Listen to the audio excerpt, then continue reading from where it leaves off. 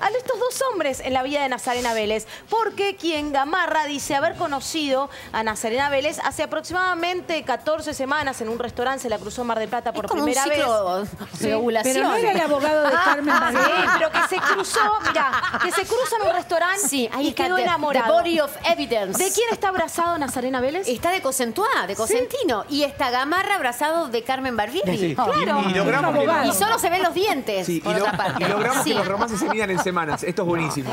Esto es 14 semanas. 14 semanas. Porque media, en la 14 última- semanas y media. En la entrevista, la última de la revista, que él habla en nombre de ella, dice, la conocí hace aproximadamente 14 semanas cuando entré a un restaurante Sí. y quedé flasheado con ella. Ah, la la invité a salir en tres oportunidades y ella no quería saber nada. Hasta que finalmente, en el mes de febrero, ella decide aceptar mi invitación y a partir de ahí nos Cuando se dejamos de separa de reírnos. Cosentino. Cuando se separa de Cosentino, Semana cuando 2 de Cosentino se va. Y ahí está la foto que reúne. ¿Qué pasa en esta foto? ¿Qué cambió? Como la BL, güey. ¿Qué cambió? A ver. Mira, volvamos. ¿Viste que hay una manito? Sí. Un gamarra abrazado Sí. a quién? A Carmen Barbieri. Sí. Sí. Un momento, Señora, jefe. Esta relación se acaba de terminar. ¿Cuál? Nazarena Vélez, perdón, Carmen Barbieri Sí. acaba de echar de su vida. ¿A quién? A Gamarra. O sea, A Gamarra, que era su amigo.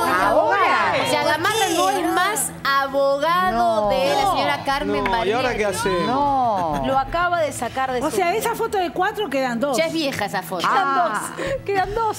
En la foto de cuatro quedan dos. Cosentino no está más. Claro. Carmen Barbieri ya no aparece más porque además. Claro. Menos mal que no vemos la cara del otro señor. Tampoco está. No, no, no, no sabemos No, quién En la es. ni foto qué- diría Pía que recordó.